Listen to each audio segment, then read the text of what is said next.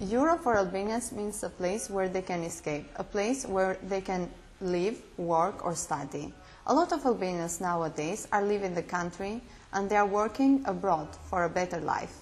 But Albania is a piece of Europe.